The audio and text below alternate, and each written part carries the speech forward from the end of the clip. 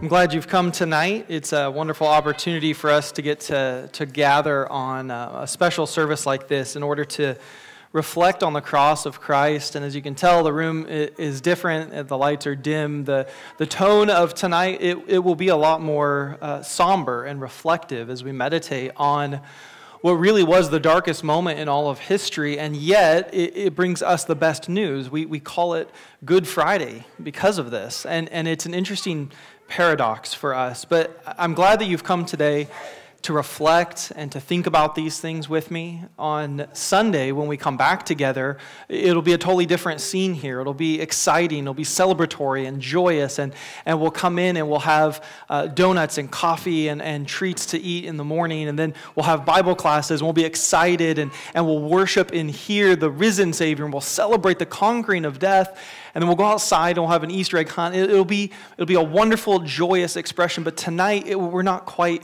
there. To, to get to Sunday and to feel the fullness of Sunday, we have to, to really understand the events of Friday. And so that's what we're going to do tonight. Over the last several weeks, we've been talking about how the Old Testament, it foreshadows the meaning of the life and the death of Jesus. And, and tonight I want us to, to bring all of that together as we've talked about him as the Lamb of God. But before we, we do that, I, I thought what would be fun tonight would be to, to see again how the whole Bible points us to this one story of Jesus and, and everything kind of draws forward in this way. And, and I wanted the kids to be able to see it tonight before this sermon. And so, kids, if you would come up here with me, I've got, I've got a book I'd like to spend just a few minutes reading. Come up here and sit up here. I've got pictures. I understand this is some of our favorite books. So come sit up here. Come on, come on up, guys. You can come sit with me. I've got nice pictures for us to look at. In this little book called The Garden, The Curtain, and The Cross. Do you know this book? Are you excited? All right. So I've got pictures here, and I'm going to read to you how this the story of the Bible all points us to this moment we've come to celebrate tonight and then again on Sunday. A very long time ago, right here in this world, there was a garden. In the garden, everything was wonderful. The world was full of laughing and playing and smiling and fun. There was nothing bad ever, and there was no one sad ever. And best of all, God was there. Hello, Adam. Hello, Eve. He had made it all, and he was in charge of it all, and he loved it all. People could see God, and they could speak to God, and just enjoy being with God. It was wonderful to live with God. But then one day, the people did a terrible thing. They decided they didn't want to do what God said. They decided they wanted a world without God in charge. God calls this sin. Sin spoils things. So sin has no place in God's wonderful garden. God said to the people, You can't live with me in my garden anymore. And so he sent them outside. To show the people that they had to stay outside, God put some warrior angels in front of the garden. These angels were like a big keep out sign. Now, things were sometimes bad, and people were sometimes sad. But people still kept sinning because they didn't want God to be in charge. So no one could come into God's wonderful place. God said, Because of your sin, you can't come in. God wanted people to remember it's wonderful to live with Him, but because of your sin, you can't come in. So he told the people to build a special building called his temple where he would live. In the middle of the temple, there was the most wonderful place in the world, the place where God was, where nothing bad and there was nothing sad. It was very exciting. But then God told the people to put a big curtain around the wonderful place. The curtain had pictures of warrior angels on it. It was a big keep out sign. For hundreds of years, the temple curtain reminded people that God said, It's wonderful to live with Him, but because of your sin, you can't come in. Babies kept babies became grown-ups and they had babies and they had babies who became grown-ups and had babies and those babies became grown-ups who had babies and hundreds and summers and winters passed by and the keep out curtain stayed in the temple then one day God the Son came to live in this world as a person. He was called Jesus. Jesus always did what God said, and Jesus never sinned. Jesus visited the temple where the keep out curtain hung. Jesus knew that th- things were sometimes bad and sometimes sad. Jesus said that God had sent him to open the way back to God's wonderful place where there would be nothing bad and no one sad, but people still didn't want to let God be in charge. So they decided to put Jesus on a cross to die. It was the most bad that had ever happened, and it was the most sad day of all time. But Jesus had a plan. He had always planned to die on the cross. What a strange plan. Why would God's Son plan to die? On the cross, Jesus took our sin, all the bad things we do and all the sad things they cause. Jesus took them all from us, and when he did, something amazing, astonishing, astounding happened the curtain tore. God had ripped up the keep out sign. God's wonderful place is open again because Jesus died, we can go in. After Jesus died, his friends put him in a tomb. They were very sad. For two days, nothing happened. Then, the next morning, Jesus' friends went to see his body in the tomb, and it wasn't there. A little later on, Jesus' friends were all together, and suddenly Jesus was there alive. Suddenly, his friends weren't sad. Now they were so, so happy God had brought Jesus back to life so that he could live in God's wonderful place forever.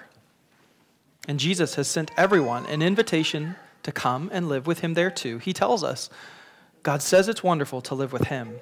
Because of your sin, you can't come in, but I died on the cross to take your sin so all of my friends can now come in. We can live with God forever. There will be nothing bad and no one sad. We will see God and speak to God and just enjoy being with God as He planned. It will be wonderful to live with Him, and it's all because of Jesus. We will say every day, Thank you, King Jesus. You're amazing. And you can start to say that today. That's what this whole weekend for us is about this message of Jesus' great plan to die and to come back to life. And tonight we're going to talk about that, and some of the things that we talk about may be really, really sad. Because on Friday, when Jesus died on the cross, it was sad. But on Sunday, we'll celebrate that he is now alive. Let's pray together, and then I'll send you back to your parents, okay? Father, thank you for this great plan that you have had from the beginning of the world when you made everything good and right and sadly, sin came and broke it all. And here we are today living in a place where people are sometimes bad and we are often sad. And yet we know you have a plan. So, this weekend, Lord, as we think about the death of our Savior Jesus, as we celebrate and look forward to experiencing the power of his resurrection on Sunday, help us to believe in the good news of Jesus Christ, that we can be invited in to be with you forever and ever, where there is nothing bad and nothing sad. In your name we pray, Lord Jesus. And everyone said, Amen. Amen. You guys can go back to your seats.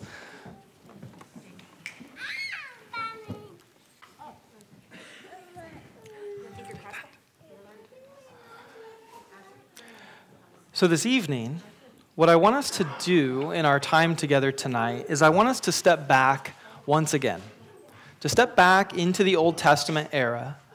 And I want us to take our place looking at the people of Israel, God's people, before they came to the land of Israel.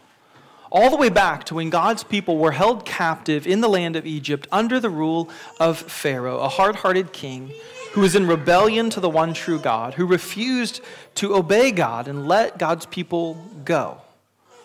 If you have your Bibles this evening, you can turn to Exodus chapter 12. We'll start there tonight. And If you're using the one in the pew in front of you, you can turn to page 64 and find our text right there. If you don't own a Bible, I'd love to give you one, so you can take that one from the pew there, or come see me afterwards, and I'll give you one to have of your own. In Exodus chapter 7, God began to deal with the rebellion and the resistance of Pharaoh by sending the, the very famous now plagues upon Egypt. And time after time after time, God displayed his power was greater than the false deities, the false gods, the idols of the Egyptians. But every time God would send a plague and Pharaoh would say, Okay, I'll do what you want, his hard heart would be revealed as soon as God lifted the plague, and again Pharaoh would refuse to obey God. And so, from Exodus 7 to where you are in Exodus chapter 12, God over and over displays his might and his power. And finally, in Exodus 12, God speaks to Moses and Aaron. After nine devastating plagues, we read this in Exodus 12 3. To Moses, he says, Tell the congregation of Israel that on the tenth day of this month, every man shall take a lamb according to their father's house, a lamb for every household. He goes on to say that this lamb, it shall be a lamb without blemish, a male who is a year old. You may take it from the sheep or from the goats, and you shall keep it until the fourteenth day of this month. Then the whole assembly of the congregation of Israel shall kill their lambs at twilight.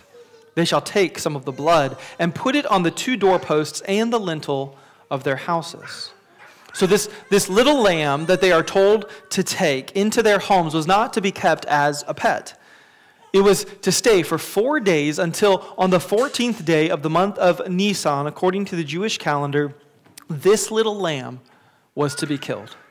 Its blood was to be spilled, it was to be taken and put over the entrance of the home. And that blood, those who applied that blood in obedience to God and this command, they would be spared, they would be passed over the judgment that God was bringing as this final penalty, this final curse upon the Egyptians.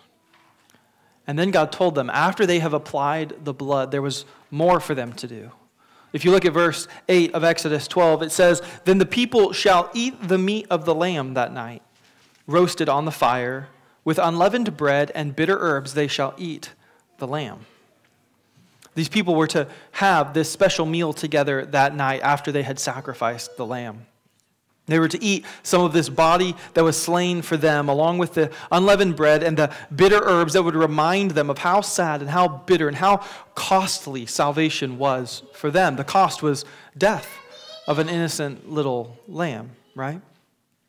And from that night onward, the people of Israel were told that every single year they were to remember these great events that God had done by eating this same meal year after year on the 14th night of the same month every year. Verse 14 tells us God said, This day shall be for you a memorial day. You shall keep it as a feast to the Lord throughout your generations, a statute forever. You shall keep this day as a feast. Now, from Exodus 12, we'll come forward to the New Testament. In Luke chapter 22, we read this during Jesus' final week of life. The day came of unleavened bread on which the Passover lamb had to be sacrificed. And Jesus sent two of his disciples, Peter and John, ahead, saying, Go and prepare the Passover for us, that we may eat it. After they had done as Jesus told them and prepared the meal, we read in verses 14 to 16 When the hour came, Jesus reclined at the table and the apostles with him. He said to them, I have earnestly desired to eat this Passover with you before I suffer.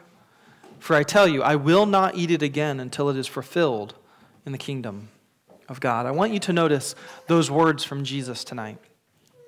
It's crucial to understand this meal that had been observed, it had been eaten by Jewish people generation after generation after generation for far over a thousand years. Jesus says, This meal, this moment, this act of remembrance that you have taken was only a foreshadow of something else.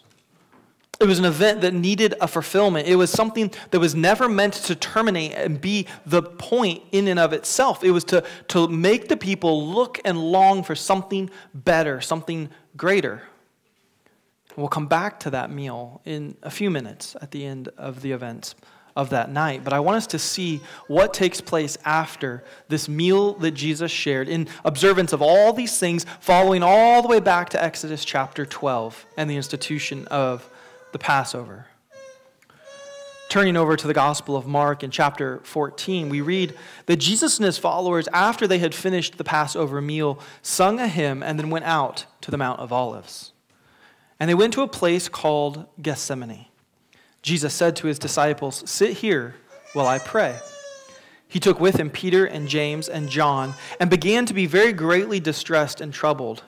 He said to them, My soul is very sorrowful even to the point of death. Remain here and watch. Going just a little further, he fell onto the ground and prayed that if possible, this hour might pass from him. This last year, at the, at the end of the year in November, I, I had that opportunity to go to Israel on the, the study trip. And, and on one of our days, we began the day by starting out on the top of the Mount of Olives. We were overlooking Jerusalem from the east, and, and from there we proceeded to walk down this same path that Jesus and the disciples would have walked down that very night. Down the hill to a garden area, to a place that is just like Gethsemane, where Jesus was. And I sat there in the garden on a rock, the, the same way Jesus sat in that garden that night and prayed. And as I sat there in this garden, I could look up through the trees and I could see before me the city gates where you would enter in to Jerusalem. I could see off to my left how around the old city walls was the western hill where I knew the high priest's home was, where Jesus would be taken later that night after praying in the Garden of Gethsemane. I could see across to the right where the hill of Golgotha was, where I knew Jesus would be crucified later that night after he prayed in that garden, as I did that night.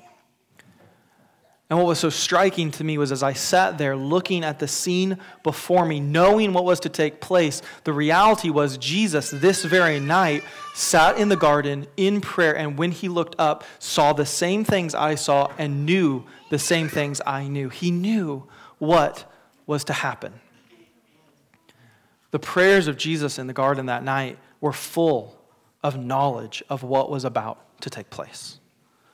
It's why Mark tells us that Jesus prayed this Abba, Father, all things are possible for you. Remove this cup from me. Yet not what I will, but what you will. This cup that Jesus speaks of here, this imagery he draws on in this prayer to the Father, is described for us in the Bible as the cup of God's wrath.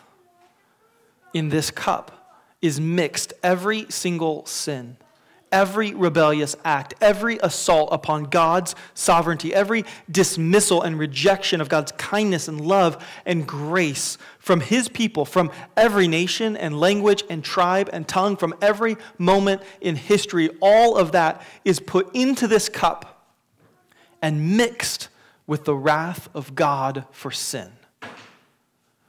Jesus understood clearly what the events of that night would require of him. He understood clearly what this cup of God's wrath was. And knowing that, knowing that this cup must be drank, knowing that he must drink it himself. He must deal with these sins and this wrath of God towards sins. He must endure it. He must pay this price if there is to be any hope of salvation for his people at any point in history. And Jesus says, for our sake, that he understands what is to come and then demonstrates his resolute commitment to taking the cup willingly. Father, he prays, if there is another way, remove this cup from me. But knowing full well there is no other way, that this is the plan that the Father and the Son and the Holy Spirit have set in motion from before time began, Jesus says, Yet not my will, but yours be done. Jesus expresses in the garden perfect obedience to the Father and perfect willingness to drink this cup of wrath for his people. Even in the midst of this being the truly darkest moment in all of history, as Jesus could look up and see the places where everything would transpire that very night, knowing everything that would happen to him, he willingly accepted this was the price he had come to pay. This is what he had to do because you and I, his people, could never do this on our own. So Jesus pressed in that night. He came to fulfill the meaning and the purpose of the Passover events that had been going on since the time of Exodus 12. And there in the Garden of Gethsemane, he stepped in for you and for me. The gospel accounts tell us the events that took place next. Judas, who was one of the men who had been with Jesus for the last three years as one of his disciples, was a man who had really only been playing at this, pretending, looking to those who looked in as if he was one of the followers, but in his heart, he never truly loved Jesus. He never obeyed Jesus. He never understood why Jesus did the things he did. He never grasped the purpose of Jesus' life, and he never believed what Jesus taught. Judas was like so many people today. People who wanted Jesus to be something else, to do something else, to provide for him something other than what Jesus had come to do. Judas wanted riches. He wanted success. He wanted fame and glory and power. And so for three years, he followed Jesus, thinking Jesus has come as the Messiah, which I believe means he'll come as a lion, a conqueror, a powerful one, and he will depose those in authority. And if I'm with him, if I'm on his side now, then I will gain myself. I will gain power. I will gain prestige. I will gain prosperity. I will be blessed. I'll be elevated. And at the end of these three years, Judas finally understood what has true of Jesus from the start. What John the Baptist, as I said last week, proclaimed Jesus' first advent, his incarnation, his first coming into this world, and his life and his ministry in Israel at that time, all those years ago, was not Jesus coming as the lion, but he had come to be the innocent, pure, perfect, sacrificial Lamb of God. And when Judas finally understood Jesus wasn't going to do the things he wanted Jesus to do, he left him. He went to the temple guard and he traded Jesus for 30 pieces of silver. And that night in that garden, Judas came back with a mob of soldiers and they arrested Jesus. The disciples were overwhelmed with fear that night. They ran and they hid, abandoning the one they swore they wouldn't do that to. And the soldiers took Jesus down the hill, around the old city walls, to the western hill, to the high priest's home, where they put Jesus into a stone pit in the ground, a place I was able to go to and stand at this last year as well. Luke tells us in that pit, Jesus was blindfolded, he was beaten, he was mocked by those who were keeping watch over him. And I stood right there in the place where Jesus was. From that pit, he was taken up to the high priest's court. And in front of this great group of religious leaders, lies and accusations and falsehoods were leveled at him. And for a long time, in the midst of all of that, Jesus said absolutely nothing, gave no answer to any of the lies said about him. He embodied perfectly the prophetic image of Isaiah 53 7, which tells us that he was oppressed and he was afflicted, and yet he opened not his mouth.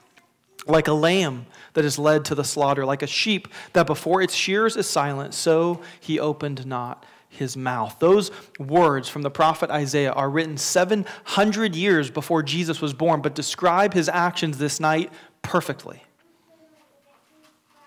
And because of that, you need to see this was the purpose. This was the reason Jesus had come to be this, the Lamb of God who would die for the sake of his people accusation and lie after lie thrown against him. Eventually, Mark tells us this.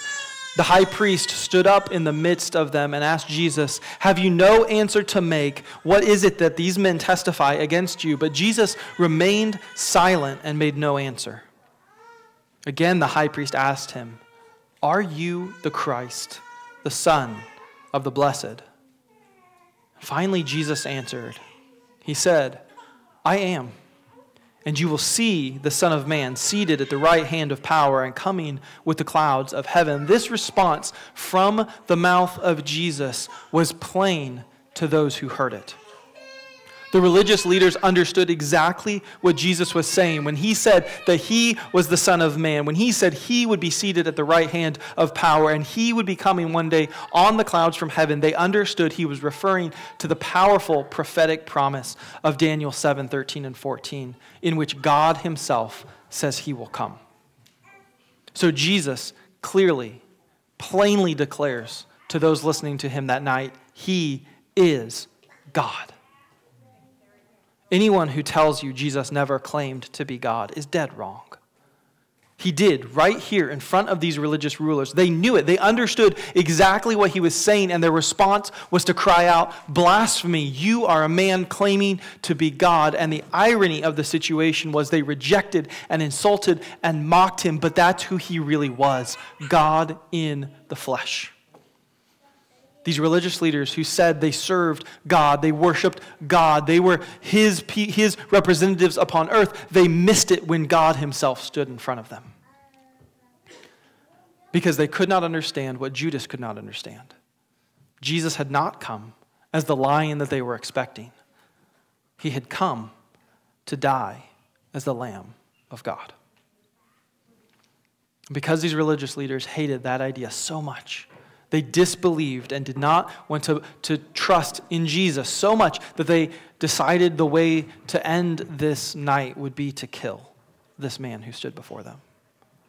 So they sent Jesus off to Pilate. Pilate sent him to Herod. Herod sent him back to Pilate. Jesus run around, mocked, beaten throughout this night. Eventually, Pilate gives in to the crowds and the will of the religious leaders. And Jesus is led out of the city gates to a place called Golgotha, which means place of the skull by Roman soldiers who had mocked him and beaten him so severely by, the, by this point of the night, Jesus' body was so broken and bloody and weak, he could not even carry his own cross up the hill to where they would kill him. A man called Simon from Cyrene was grabbed from the street, forced to carry the cross of Jesus for him. When they finally reached the site, Roman soldiers took nails and drove it through Jesus' hands and feet and lifted him up on a rough wooden cross, feet above the ground where everyone would see him. And there, about 9 a.m. on Friday morning, hung the God of all creation, the one who had come to save his people, finally fulfilling the purpose for which he had come. For three hours, Jesus hung on the cross there. At noon, God caused the sky to turn black. Darkness covered the face of that place as Jesus was there, suffering as the sacrifice for sin. At three o'clock that afternoon, hanging there upon the cross, the Apostle John gives us the account of what happened in chapter 19, verse 30 of his gospel. He tells us of the very final words that Jesus spoke from that cross. In a loud cry, right before his death, he hung there and said in Greek one simple word, which in English for us is three. Jesus cried out with a loud voice, Tetelestai. It is finished. And with that, he bowed his head and he gave up his spirit, and the Son of God died. He declared in those final moments the work which had been the plan from all eternity past was now complete. Finished. No more to do. His mission was accomplished, and it was. He had come for this purpose to suffer and to die in the place of his people, to drink the cup of God's wrath towards sin, so that his people from every tribe and language and nation, from all points in history, could be saved by this one work.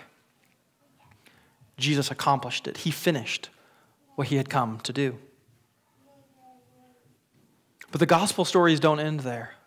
And John doesn't move immediately from that moment to the glory of Sunday. He tells us instead in John chapter 19, verses 31 to 34, these important details to help us connect back to where we started this evening. Since it was the day of preparation for the Passover, and so that the bodies would not remain on the crosses on the Sabbath, for that Sabbath was a high day. The Jews asked Pilate that the legs of the men being crucified might be broken, and that they may be taken away. So the soldiers came and broke the legs of the first criminal and of the other one who had been crucified with Jesus. But when they came to Jesus and saw that he was already dead, they did not break his legs. One of the soldiers placed, pierced his side with a spear, and at once out came blood and water. These things, John tells us, took place that the scriptures might be fulfilled, that not one of his bones shall be broken. Why does John, Why does John pause in this story, this, this most important moment in all of history, to give us these details? Why does he reference the scripture? And where in the scripture does it refer to the fact that these bones shall not be broken in him? It takes us all the way back to where we started this evening in Exodus chapter 12. In verse 48, or 46 rather, of that passage, speaking of the Passover lamb, God tells the people that when the lamb was to be killed, it was to not have any of its bones broken. John is making this connection for you and I right here that Jesus' death as the Lamb of God meant he was then the perfect, final Passover lamb that needed to be sacrificed. Jesus is the perfect Passover lamb. It means no longer do little lambs need to be slain, as thousands and thousands of them were for years upon years upon years in the sacrificial system. No, Paul will later write for us in 1 Corinthians 5 7 that Christ is our Passover lamb who has been sacrificed. In the book of Hebrews, it will be told to us that Jesus has now appeared once at the end of the ages to put away all sin by the sacrifice of himself. And in Hebrews 10 10, it says that this offering of the body of Jesus Christ was done once for all. The Apostle Peter declares then that salvation can only come through one way when you and I are ransomed from the futile ways that we have inherited from our forefathers, not with perishable things like silver or gold, but rather with the precious blood of Christ, that of a lamb without blemish, without spot, perfect. His perfect blood is what saves you and I. This is what Jesus came to do. This is why he had come to, to accomplish this work as the Lamb of God who would be slain, who would be sacrificed, so that by his blood there would be a covering for the sins of his people who would trust in him, that they would be saved from the wrath of God, that now the wrath that you and I deserve would pass over us and be paid by him. So, tonight, knowing this story, hearing it yet again to refresh our minds then why this night, these events are the most important thing in all of history, we're going to take a few moments to worship and to respond to Jesus. Not to rush too quickly yet to the glory of Sunday, but to, but to look upon the darkness of that Friday, to think about the cross itself, to feel the weight of what took place there that you and I could be redeemed and we could be saved from our sins. Choir, if you will come and prepare to lead us in our first song. We're just going to take the next 10 to 15 minutes here. And over these next four songs, we'll have this opportunity to pray and to reflect and to, to feel these deep, rich words and the glory of what it is that Jesus did for us on that cross. That we would stand in awe of Him together tonight. Let's pray together. Let's worship together in these moments. You can be seated this evening. That last meal of Jesus' life, when he took that Passover meal with his disciples that evening, he, he radically reoriented that event into something new, a new ordinance, a new practice for his people to begin to participate in from that night forward this meal would become not just a, a, foreshadow, but now a reminder of what it was that Jesus had accomplished, what Jesus had done in paying the price for our salvation, how he had become the lamb slain to fulfill the point of the Passover. In the original Passover meal, as we heard tonight, the, there was to be unleavened bread and bitter herbs that were eaten alongside the lamb that was sacrificed for them. But Jesus, on that final night, after having taken the meal that one final time, instead just took two elements. He took the bread and the cup because he himself would become the lamb and he himself would pay the bitter price of bringing salvation to his people. And through these two symbols, he instituted a new practice of remembrance for you and I of what it is that he had accomplished. For those of us who are Christians tonight, and you don't have to be a member of our church to take the Lord's Supper with us tonight. We will celebrate this act as an act of remembrance, but we must understand what we are doing tonight. As I always remind you, the elements before us are not transformed in any way. There's no ritual that will make these things anything other than bread and juice tonight. What we're about to do is to follow the command of the words of Jesus, to eat these powerful illustrative symbols to remind us of Jesus' death, of his fulfillment of the point of the Passover, to remind us of the price he paid upon the cross when he died as the true Lamb of God. So if you're not a Christian here tonight, then, then let these things just, just go by you. There's no extra uh, grace or merit that you earn by partaking of them. In fact, to, to eat of these things without true faith in Jesus Christ is just a sin one day that you will pay for. But for those of us who are Christians, we eat this in faith, believing that these don't save us, but the work of Christ on that cross nearly 2,000 years ago, that is what saves us. For us, this is a moment of being filled and reminded once again of the goodness and the grace of our God. So, Eric and Reed, Dale, Jason, if you guys will come this evening, you're going to assist in serving us these elements. These things are symbols that point us to what we have heard of in this story tonight that God the Son took on human flesh and he came as the Lamb of God who died in the place of sinners.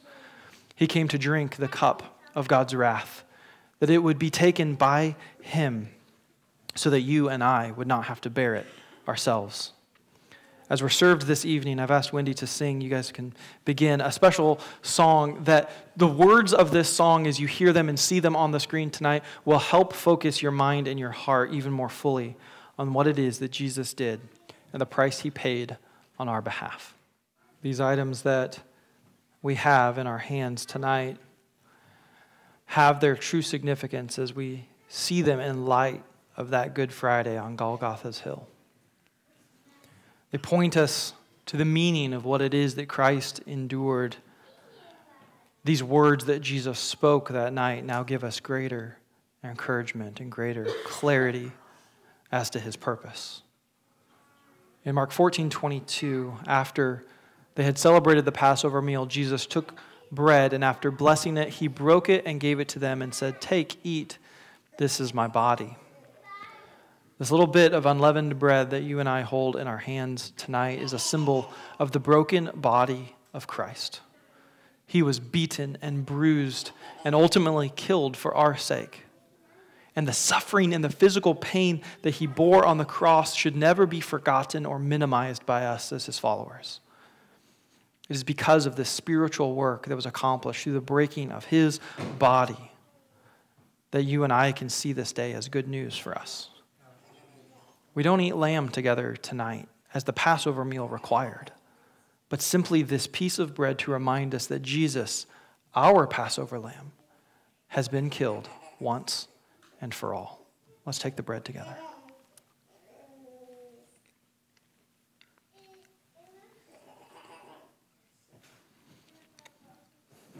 And then Jesus took a cup. When he had given thanks for it, he gave it to his followers, and they all drank of it. He said to them, This now is the blood of the covenant, which is poured out for many. That cross where Jesus hung was a bloody place. His life was poured out there on the cross, the shedding of his blood for the forgiveness of our sins. Everything was put upon him that night. From the littlest of lies that we tell to the deep harboring of hatred we keep hidden away in our hearts to every moment of unsubmissiveness and rebelliousness to God. It's all there put upon Jesus, and the price for all of it was his blood shed for our sin, that we could be forgiven. Though this cup is only juice tonight, it's a powerful symbol of the cost of your salvation found in the Lamb of God. Let's take the cup together.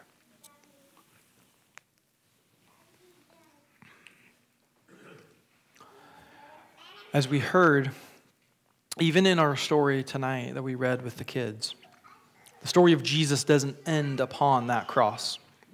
The events of Good Friday see Jesus dead, slain as the true Passover lamb, buried in the tomb of Joseph of Arimathea, and his followers mourning and weeping at his death. But Jesus had repeatedly made a prophetic promise about these events before they ever came to pass. In Luke chapter 18, verses 31 to 33, taking the twelve aside, Jesus said to them, See, we are now going up to Jerusalem, and everything that has been written about the Son of Man by the prophets will be accomplished. He will be delivered over to the Gentiles, and he will be mocked and shamefully treated and spit upon. And after flogging him, they will kill him. But on the third day, he will rise. Jesus knew before the garden what was to come. He saw it all with absolute clarity, and he said exactly here what would happen when he came to Jerusalem, didn't he? And he promised he would rise again. On that third day, the Sunday following this Good Friday, his sacrifice as the Lamb of God would see him rise in victory, truly the Lion of Judah. If you'd stand with us tonight, we're going to sing one last chorus of hope. Verse 4 of the final song we sang this evening, as Wendy led us in those words Come, behold the wondrous mystery. In verse 3, we sang this Come, behold the wondrous mystery, Christ the Lord upon the tree. In the stead of ruined sinners hangs the Lamb in victory. See the price of our redemption. See the Father's plan unfold, bringing many sons to glory, grace unmeasured, love untold. Now, if you will, let's lift our voices in anticipation, in a foretaste of what Sunday is all about. And once again, let's behold the wondrous mystery in verse 4 of this great song.